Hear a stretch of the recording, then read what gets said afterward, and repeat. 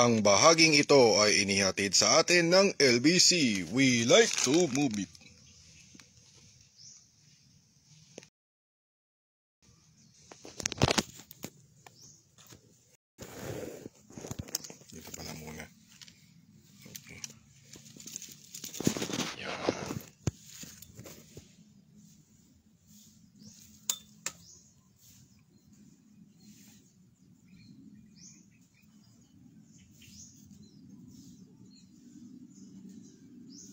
Ayos. Yan.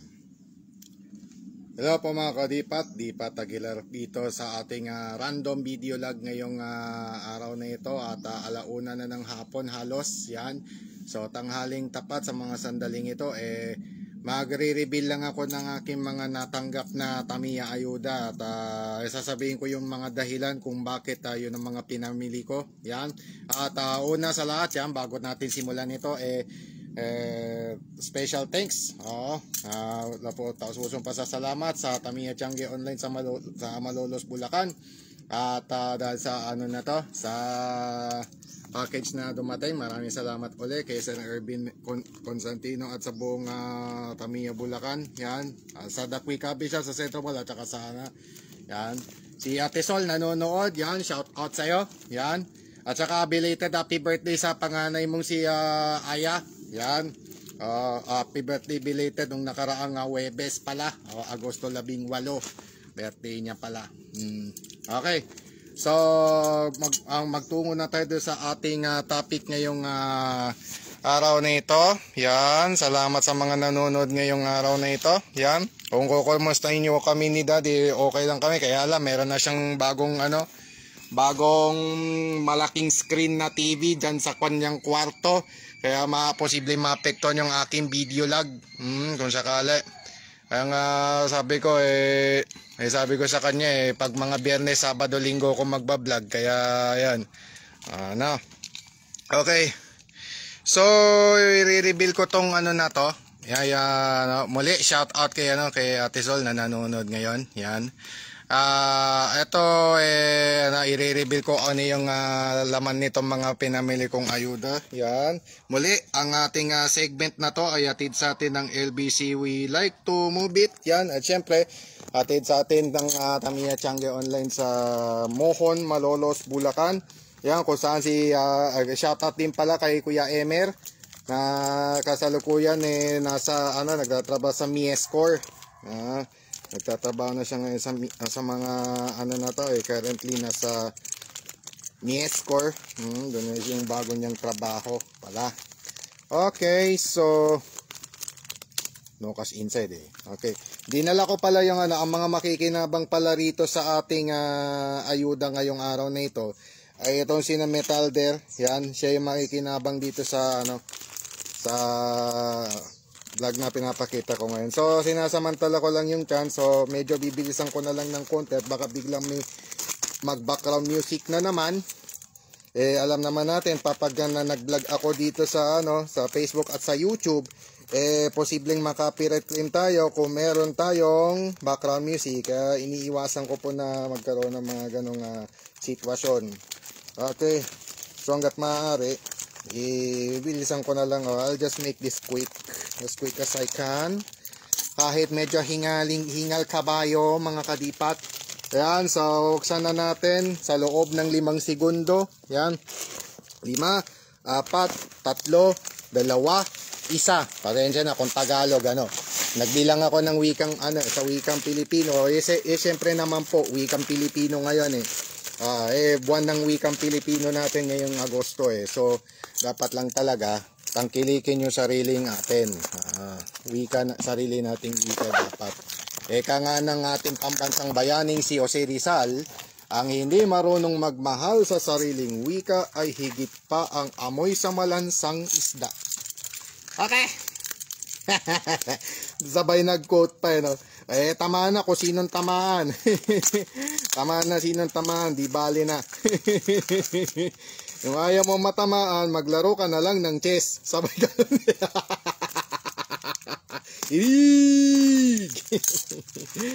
okay. So habang binubuksan ko mga kadipat yung laman ng aking uh, ano, Ah, nag-a-unboxing lang po ang inyong lingkod. Uy, may nasisilip na ako. Nangangamo yung kit. Ah, actually, bibigyan ko kayo ng clue. Ah, bibigyan ko kayo ng clue kung ano yung laman. Ah, Siyempre, mga Tamiya items ito. Pero sa ah, particularly, ayan, sa ano to, sa Prostack. Ah, may kinalaman to sa Prostack non-FM. Uh, Prostack non ah, non-FM. Hindi po yung mga brake, mga gun blaster, hindi. Hindi po. Ito eh may kinalaman sa ating uh, Prostack non-FM kung, sa, kung saan eh medyo sinuswerte pong inyong lingkod. So, I'll just do this ano, as quick as I can. Uh, eto na. Uh, kaya na ba? Kaya na bang ihilain palabas? Hindi pa siguro. Grabe yung pagkaano eh. Okay, grabe yung packaging eh oh. Talagang play hard eh. Talagang play hard na play hard. Buti na lang may baon na ong cutter. Yan. Okay. So, i-explain ko bakit yun yung mga pinamili ko mga kadipat. Ano, ah, para ano natin, para may ano tayo. Ayan na. Okay, I think na bubuksan na natin. Sa loob ng lima, apat, tatlo, dalawa, isa. Iyan. Tantananan. Sabi ko sa inyo eh. Sabi ko sa inyo, car kit eh. Hindi, sinadya ko talagang bumili ng car kit. Yan. Okay. So, ang binili ko talaga ngayon ay itong uh, Aero Manta Ray AR chassis kit. Ang pangatlo sa Rev series ng uh, Tamiya Mini 4-wheel drive. Uh, ang item number niya ay 18703. Uh, 18703 yung kanyang item number, yung Aero Manta Ray na original Aero Mantare, yung pinakaunang model ng Aero Mantare. Kasi meron pong uh, Japan Cup version po nito, meron din pong white special, meron pang ibang black special. Ah, marami, maraming klase ng Aero Mantare. Pero sa kasong ito dahil dahil taong 2022 ngayon, suma total sa is. Kaya lang doon sa aking uh, sarili kong numerology eh kasamang Aero Mantare sa mga pwede kong kunin, within the year, uh, sa loob ng taong ito, taong kasalukuyan na 2022, eh, kasama yung Aeromantre. Ganon din naman pag uh, ang suma total ng taon ay uh, da, dos o dalawa, uh, anim, dalawa saka anim. Uh, ah, oh, tama, dalawa saka anim lang. Uh, so, yan, sa kasong yan, yan na ato once in every 9 years so minsan sa isa loob ng siyam na taon ko pwede kunin itong mga to. Ito yung mga naunang dalawang uh, Rev Series Mini 4 wheel drive ang Aero Abante 18701 at ang Aero Thundershot na 18702 item number. Ito yung mga pwede mong gamitin basic tune up part ng AR which is 15450 item number. Hyper Dash 2 eh, yung Hyper Dash 2 ang problema lang dyan wala na ngayon to ang meron na lang po ngayon, uh, wala na itong Hyper 2. Ang meron po ngayon, Hyper 3. Uh, Hyper Dash 3. Uh, I forgot na, na ano na eh. Nakalimutan ko na yung item number nung ano, Hyper 3. Pero yan na lang po yung available ngayon sa market. At ito namang ano, yung 30mm aluminum ball, may iba-ibang kulay din yan. Uh, na original, syempre nating bits editor. So ito po yung composition ng AR chassis ng Aero Manta Ray. Yan nga po yung makikita nyo sa ilalim.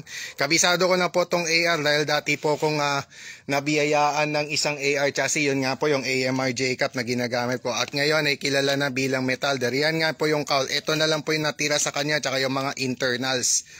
Uh, yung mga gears at saka ano, nandun pa rin. Uh, so yung nasira lang talaga yung main frame. So sa kasong ito, ang kukunin ko po yung main frame uh, yung main frame ng AR dito lang ito lang kukunin ko tsaka itong cowl so bahala na po ako kung paano ko bubuuin tong ano to. Pero ang talagang punteriya ko ngayon ay itong si eh, si Metalder, itong ano metal, Project Metalder. Ito talaga yung bala ko po talaga na palitan ng BZ chassis. At yun yung isa sa mga na, ano, pinamili po ng inyong lingkod. Ayan, i-unbox ko na po isa-isa yung ating mga ano, muli po ang Aero Mantare ay item number 18703. Yun po ang uh, car kit. Ayan nga po yung mga compositions. Yan. Isa-isayin ko po yung mga compositions niya mga kadipat para sa inyo. Para sa kaalaman ng lahat ng mga mahilig sa Tamiya Mini 4 wheel drive. O, yung lahat ng interesadong bumili. O, sige. Pwede ko po kayong ano. Bigyan ng uh, mga clue kung ano yung nandyan. T-Mac. Ay, sa T-Mac stock, pwedeng gamitin yun, no?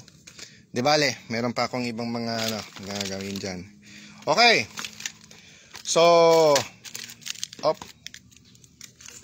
Okay, so ito po yung composition ng ano ng AR chassis kit natin na Aero Manta Ray. Ito po yung kanyang mainframe na gawa sa standard abs resin. Hmm, karaniwan naman po yung standard abs resin ng material po nito. Ayun. Kung nakikita niyo po, ah, paano ba to? Ah, teka, ano ko yung lente? Sensya na. Ayan. Kung nakikita po ninyo, nakaturo yung arrow dun sa abs. Hmm. Sa abs, sa abs. Hmm, mukhang malabo ah. Kamalabo ah. Eh dito, dito.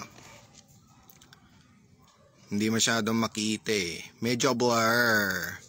Ayun, oh, nakaturo doon sa abs. Oh, dito, dito po siya nakaturo. Kung ganon, yun po yung material nitong mainframe ng AR.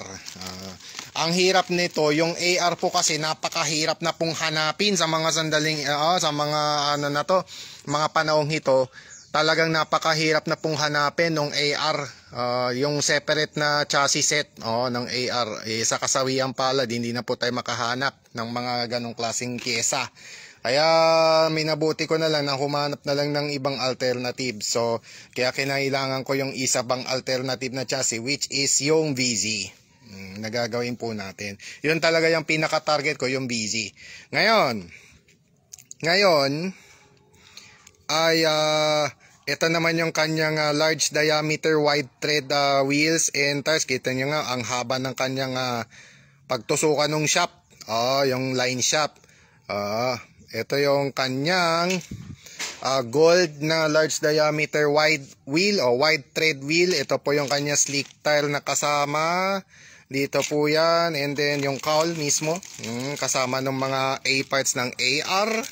Yan, pati rollers niya nandyan na rin. Pati skid bar. At yung mga internals na iba pa. Yan, switches. Uh, yung switch, yung paglagyan ng motor. Nandito yan. Yan po yung mga ano niya. Okay, at ito naman yung cowl niya na silver cowl. Uh, silver colored. Yan, silver cowl. Obviously, Uh, POM to actually, polyoxymetallin din yung kanyang internals. Usually naman talaga yung mga uh, A parts ng uh, AR chassis eh gawa yun sa ano sa polyoxymetallin. Uh, yung POM na yun, polyoxymetallin ang ibig sabihin. Hmm. Na-explain na yun ni Sir Shaq Balido nun sa Noobworks eh. Natatandaan ko lang. No, as far as I can remember lang po ma- mga kadipat ha, kung paano ako mag-explain ha. Okay. So, SMC motor. Aba, may, ang stock motor pala na included ngayon sa uh, Aeromantar eh, na AR chassis kit ay isang SMC motor tayo. No? May butas doon sa lobo.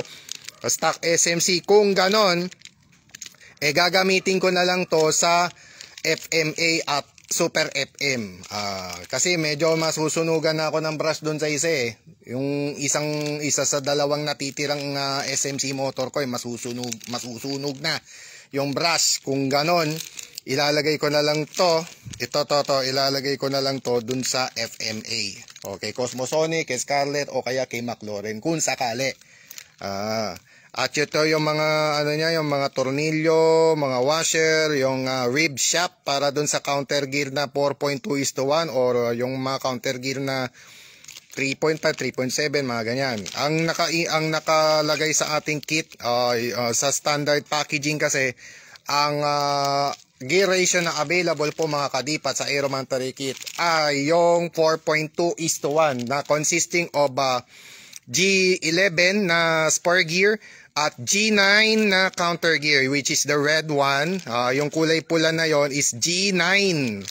G9 na gear. G11 po, yun yung spar gear na kulay brown. Ang kulay green po, at saka kulay blue, 5 is to 1 po yun. Uh, G10 yung counter gear, G6 naman ang spar gear. Para sa kalaman po ng lahat. Ano? So, pwede naman pong gamitan ng kahit anong gear ratio to eh. Pero sa kasong ito, maximum ko na lang sa 4.2 is to 1. Tamang-tama to, maximum gear niya is 4.2. Dito ko na siya ilalagay. Uh, conforme po kasi kung sa anong ano conforme na po yon doon sa track layout kung paano ko didiskarte niya. Siyempre, yung motor terminal dyan, tsaka yung mga grasa, stickers po niya, yan, eh hindi naman kay optional lang po yan sa akin. Oh, karaniwan po pag nagbubuo ko ng car kit, eh optional lang po yung mga stickers o yung mga decals, no? Optional lang yan sa akin. Okay. Samantala, yan yung mga instruction manuals niya narito, ganun din sa paggamit ng uh, Tamiya Mini 4-wheel drive. Siyempre, yung mga safety precautions, nariyan din yan. Uh, hindi, hindi dapat mawala yan for the safety of all ano, cars. Aba, puro mga SMC pala na stock motor ang nandito palang dalawa. Oh. Uh, so, bukod sa Aeromantare kit, eh, bumili rin ako ng dalawang extra stock motor. So, lahat pala ng tatlong yan, eh, pang FMA. Usually ginagamit ko sa FMA at saka sa Super FM chassis o kahit sa Carbon FM ginagamit ko to, yung stock motor. Pag sa D-Pats Tamiya League lang po. Pero pag sa outside o labas ng D-Pats Tamiya League, eh syempre tuned ako. Ay, uh, tune or dash. Syempre yung tune-up motor gagamitin ko. Yung talagang mga official na panlaban. Ito eh pambahay. Karaniwa, maliban na lang kung meron akong pang entry sa backstock. Pero sa kasong ito, ito si Mantare, bubuuin ko to as uh, pansamantala, buuin ko muna siya bilang uh, backstock. Uh, bilang backstock. Pero ang talagang uh, target ko is itong ato. Uh, sige, pero ang target ko ay itong uh, Aero Mantare. Uh, so sa kasong ito, mag-backstock ako. Uh, with, on that note, i-try ko to sa backstock kung sakali. Pero pag naka-chamba, eh di chamba. Ganun lang, kasimple. Hmm, tsamba na lang kung makalusot siya ng ano, nung mga susunod na round. so, tingnan na lang natin sa mga susunod na kabanasa. So, ayan, ito si Nasetso na at saka si uh, Metalder, dinala ko rito. Dahil itong si Setso na, eh, nasiraan na po siya ng BS frame. Yung chassis frame dito po sa roller mount niya sa harapan, eh, nasira. So, oh, medyo, may ano na, may lamat na. So, ang gagawin ko na lang, dahil itong si Metalder, ay malilipat na sa VC chassis. Ah, which is ito yung mga pinamili kong yan. Tan tanana taran ayun. Um, VC chassis set uh, pastel blue at red. Yan nga po matutuloy ko na yung aking project metalder. Hmm. laser arm. Yun, yun talaga yung main weapon niya eh. Uh, isa sa mga main weapons ni Metalder kasi during the Tokusatsu era ay yung laser arm. Yun yung panapos niya, yung finisher niya yon eh. So, yan. Mabubuo na sa wakas si Metal there. Uh, yan, uh, red and blue. Uh, red and blue combo. Ito yung gagamitin po niyang ano, uh, yung, by the way, yung ating uh, item numbers ng uh, VC chassis set na pastel blue at red, magkasunod po yon ang item number ng pastel blue is 95629. I repeat, 95629 po ang uh, item number ng BC chassis set pastel blue na nagkakahalaga ng 360 Japanese yen. Ganon din po yung BC chassis red, nakasunod naman po nito ng pastel blue. Magkasunod lang po 95629 tsaka 95630. Magkasunod lang po silang dalawa. Uh, magkasunod lang. Pareho namang 360 Japanese yen each. Uh, sa Japan, ang presyo sa Japan niyan ay 360 Japanese yen. Uh, 360 yen. Uh, yung mga number po dito kasi, mga kadipat, yun yung presyo niya. Na-explain po yun ni T. Hiroki. Uh, kay Hiroki-san, yan, konnichiwa. Mm, kaya sa tomodachi natin na si, ano, si T. Hiroki, yan, inexplain niya po yung anong ibig sabihin pala na presyo pala sa Japan yon ito. yung pala yung presyo niya sa Japan, uh, sa bansang Hapon pala. Yan. Noon ko lang natutunan yon mga kadipat ano. Um, kung kailan tumanda saka lang natutunan yung mga yun ano. Nani? Sabay ganun. So, ayan. So, ang, so, ang bala ko na po, mga, uh, ang dahilan ko po, ito, yung pastel blue at yung red A parts, yung po yung magkasama, ito po yung gagamit. So ito yung ano niya, main frame niya, tapos dito yung mga internals po niya, yung kulay pula. Tapos yung rollers niya blue. Uh, all blue mangyayari diyan, white. Blue or white. Uh, mag-combine sila uh, pag sanibin ko yung dalawa. Pag ma-merge ko po tong dalawa, yung po yung dahilan kung bakit bumili ako. Plus, Plus, itong mga wheel and tires na maaari niyang magamit. Super hard.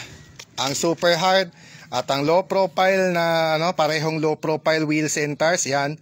Uh, yung Asia Challenge ang ano, yung nakuha kong isa, ang item number is 95546, item number super hard, magagamit ko po yung karaniwan sa likod ng kotse. Oo, sa likod, sa likod ko siya ilalagay.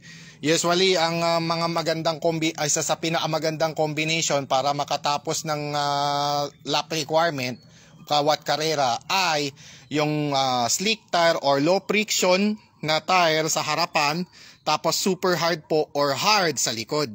Yung kagaya nito si Setsuna, yan, slick tire sa harap, super hard sa likod. So yun po yung mangyayari diyan. So sa kasong ito, ito ilalagay ko sa likod. Dito sa ano yung mas mahaba ang ano, mas mahaba yung thread. So dito ko po siya ilalagay. By the way, ang uh, super hard low profile Asia Challenge tires ay 95546 ang nakakuha kong uh, ano, tires. Ah, talagang ano, ah, talagang super hard. Tamang-tama to sa likod. Oh, sa likod ng auto.